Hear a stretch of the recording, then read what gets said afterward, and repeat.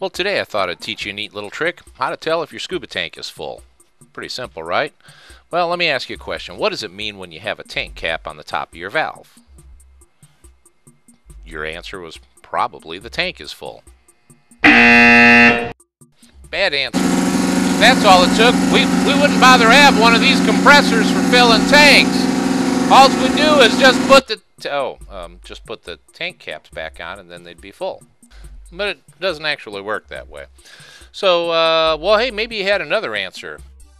Maybe the answer to why is a tank cap on the top of a tank? Uh, I want to assist Scuba Toys with blatant advertising and generally irritate any other dive shop owners that might see my tank. Now, that's a really good answer, but um, yeah, probably not the right one either. So, really, uh, tank cap on the top of a valve simply means there's a tank cap on the top of a valve.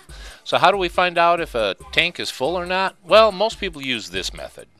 What they do is they find a tank that has a cap on it, remove the cap, then they'll take their BC, load that onto the tank, adjusting the strap as need be and get it to the proper height, tighten everything down really good. Then they'll grab the regulator system, remove the dust cap, screw that onto the valve, hook up their low power inflator hose, then they always take their octo and get that hooked on where it's supposed to be.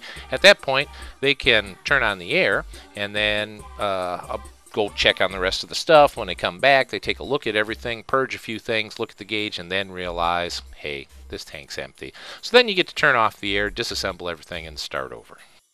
Now, another way to do it is just use a pressure checker. But most people don't have one of these things kicking around. Dive shops do all the time, so we can test tanks.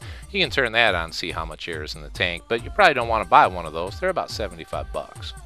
Not only that, you don't have to buy one because you got a couple of built-in pressure checkers. They're called ears.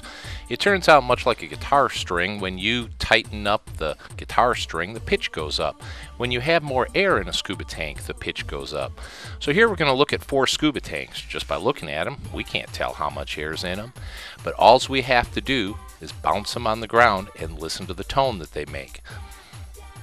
The higher the pitch, the fuller the tank. Let's listen.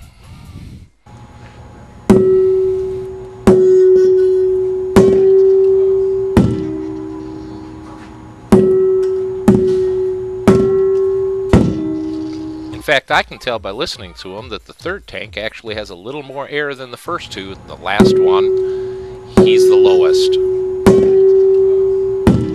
So take the third tank, or that one, or that one, but not that one. Now it's important to note that different size tanks will tone differently, so a smaller tank like a 63, that will have a higher pitch than the 80s. But if you have all matching tanks, if you bounce them, you can figure out which ones are the full ones and which ones are the empty ones. Or if you're bored, you can use your newfound knowledge to play some songs.